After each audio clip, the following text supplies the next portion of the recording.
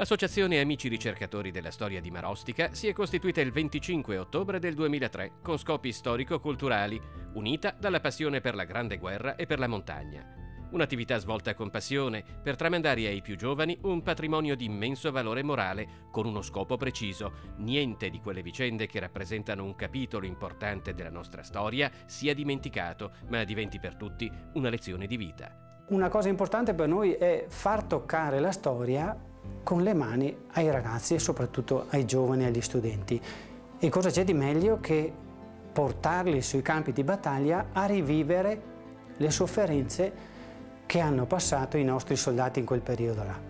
Non c'è modo migliore.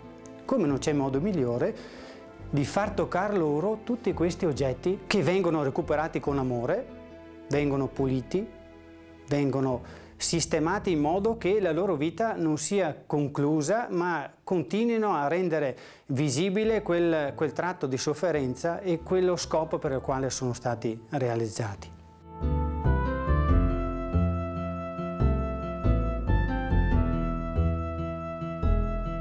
Noi avremo un sogno che è quello di realizzare un museo della Grande Guerra Marostica.